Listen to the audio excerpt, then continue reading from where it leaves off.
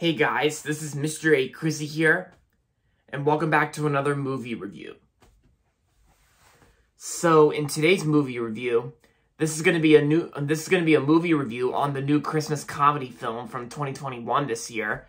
And and of course it came out on Disney Plus today for Disney Plus Day.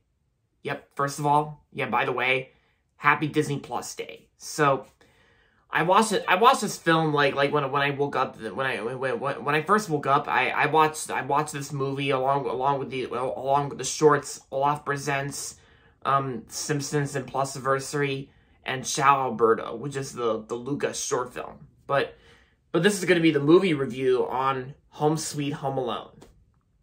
Yeah. So Home Sweet Home Alone Home Sweet Home Alone is basically like a, another installment of the Home Alone franchise where instead you got this boy named Max who who who is basically like he live he lives with his family and and and and for Christmas vacation his family decides to go to go on vacation to Tokyo, Japan.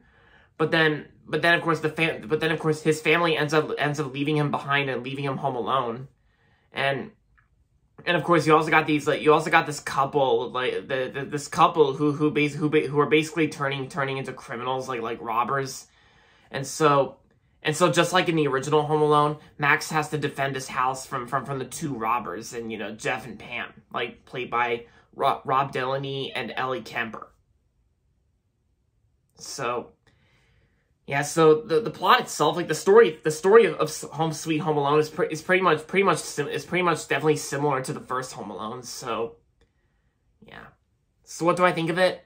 Well, honestly, when the trailer when the trailer first came out, like I at first I was thinking it, it, wouldn't look too bad since at first I thought Macaulay Culkin would, would reprise his role as an adult Kevin, but Macaulay Culkin actually he, he he himself actually confirmed that he has he has no involvement with Home Sweet Home Alone.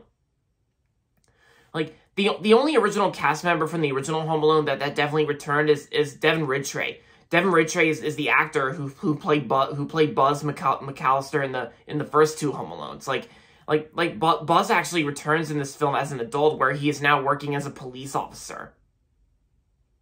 Yeah. And the acting performances itself, like the, I mean, I mean, it's got, I mean, it's got pretty good actors, like uh, pretty good actors, like like Ellie Kemper, and there's also Kenan Thompson. But but the point is, guys, why make another Home Alone film? Because because there's already so many Home Alone films out there, and and it and it's and it's not the same without without Macaulay Culkin as Kevin from from the first two Home Alones.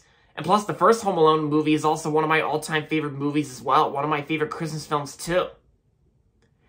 And and I, and I still think Home Alone 2 Lost in New York is, is definitely the best Home Alone sequel out of all of them. The first like like the first two Home Alone movies are definitely the best ones.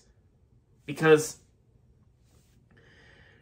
and, and that's the point because because and that's that's one of one of the other points about the Home Alone sequels uh, and that why the rest of the sequels starting with Home Alone 3 they're like not they're like not not as good as the as the, as the first two and they're like and of course and of course they're they're all just they're all they're they're, they're almost all of them are almost all of them are pretty much cash grabs like like and I'm pretty sure Disney Disney's also just doing this for money too like you know like like you know home sweet home alone was first was first announced in like 2019 i think and i do remember that i learned that that filming for home sweet home alone principal photography actually began in the early months of 2020 last year in february in canada but then it wasn't but but then but then by by march 2020 production and principal photography had to be shut down temporarily due to concerns regarding the coronavirus pandemic which it's old news it's it's it's, it's old news pretty much and you know. So, so yeah, because the, the story itself for Home Sweet Home Alone, like the story itself is pretty much is pretty much just like the first Home Alone, and I and I and I gotta say, guys, I prefer I prefer the first Home Alone movie over this. Same with Home Alone 2, Lost in New York.